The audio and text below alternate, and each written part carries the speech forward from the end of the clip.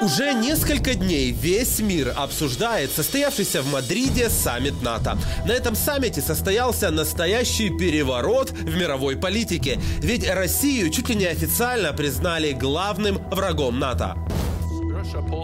Россия представляет самую серьезную непосредственную угрозу нашей безопасности, хотя в предыдущей концепции Россия была стратегическим партнером. А также на саммите было решено принять в НАТО Швецию и Финляндию. Но знаете, самое интересное произошло даже не на саммите, а за несколько дней до него.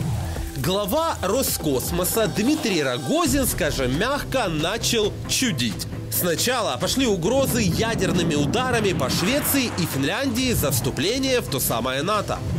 У России нет враждебных намерений по отношению к Финляндии и Швеции. У Сармата по отношению к странам НАТО тоже нет предвзятого отношения и враждебных намерений.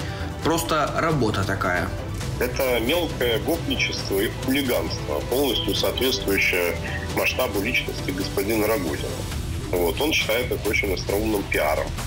Он считает, что это классно и прикольно. А после этого Роскосмос опубликовал сообщение, в котором пригрозил остальным странам мира и даже опубликовал координаты главных стратегических объектов – штаб-квартиры НАТО, Белого дома, Пентагона и других объектов на территории стран-участниц. Сегодня в Мадриде открывается саммит НАТО, на котором страны Запада объявят Россию своим злейшим врагом. Пока представители 30 стран Альянса, а также партнеры и кандидаты будут разбираться со стратегической концепцией до 2030 года, Роскосмос публикует спутниковые фотоснимки места проведения саммита и тех самых центров принятия решений, поддерживающих украинских националистов. Это далеко не первые угрозы с уст российской политической и даже медийной верхушки. Все началось с самого Путина, который открыто заявил о возможном ядерном ударе. Приказываю министру обороны и начальнику генерального штаба перевести силы сдерживания российской армии в режим, в особый режим несения боевого дежурства. Сам Путин когда-то говорил очень правильный принцип, э, очень э, жаль, что его его собственное окружение не выучил, и сам он, по-видимому, забыл. Он говорил, подняв кулак, бей. И э, вот э, Запад точно в этой ситуации, если он поднимет кулак, он ударит. А эти просто размахивают этой дубинкой по голове. И ударят они только по, по своей собственной тупой башке. Ну а следом за Путиным с угрозами начали выступать и российские пропагандисты, а также купленные блогеры. Лично я считаю наиболее более реалистичным путь Третьей мировой. Ну, потому что, зная нас, зная нашего руководителя Путина Владимира Владимировича, зная, как вообще здесь все устроено, это невозможно. Ну, то есть, ну, нет вообще шансов, что мы просто сложим лапки и скажем, ой, вы знаете, не получилось. Невероятное, что в конце концов все это закончится ядерным ударом, мне представляется все же более вероятным, чем вот такое развитие событий. К ужасу моему, с одной стороны, с другой стороны, к пониманию, что, ну что, значит так. Знаешь, меня... Но мы-то в рай. Да. Меня... А они просто э, даже... Варианта, где проиграет Россия, не существует.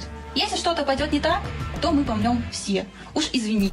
Глава Роскосмоса Рогозин, как говорится, тоже решил не пасти задних. Одним из первых именно он доложил Путину, что никакие санкции не повлияют на ракетную мощь России. И Запад еще горько обо всем пожалеет. Двигателям я вам докладывал, естественно, мы экспортируем, поэтому здесь вообще никакой зависимости быть не может.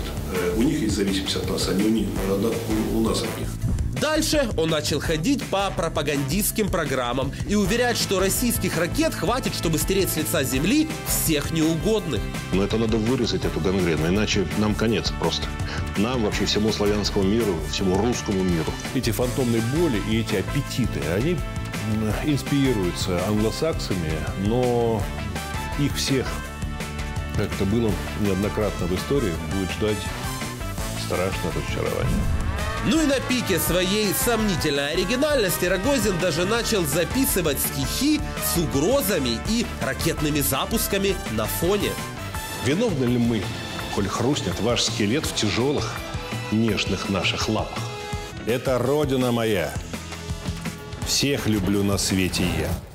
Ну а далее Рогозин, видимо, решил, что НАТО очень испугается его очередных ядерных угроз и откажется проводить саммит.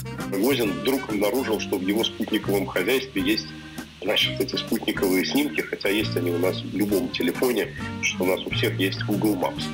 Но вот он, по-видимому, только прочувствовал о том, какую на самом деле интересную компанию он возглавляет, что у него есть такие снимки. Как э, соревноваться с Элоном Маском он уже не способен, а вот хулиганить в соцсетях – это пожалуйста.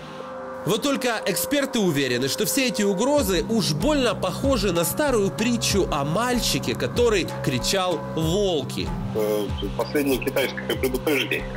Это э, люди же не самоубийцы, они просто считают, что вот такие сейчас значит, правила игры. Они тем самым уже обесценили это. То есть если еще сначала все боялись, то сейчас понимают, что это просто трех языков. К слову, представители западных стран вообще никак не отреагировали на громкие заявления Рогозина. А что может НАТО в этой ситуации сделать, спрашивается. Вот э, что, угрожать в ответ, ну, они себя поставят тогда на одну доску с этим хулиганьем и шпаной. Конечно, они этого делать не будут. Но у них ракет тоже вполне достаточно. Ну, что они ответственные люди, они понимают, что такими вещами не шутят. И сколько бы российские террористы не сыпали пустыми угрозами, Запад не пойдет у них на поводу. И после всего содеянного в Украине этим военным преступникам будут рады только в одном месте – на Международном трибунале.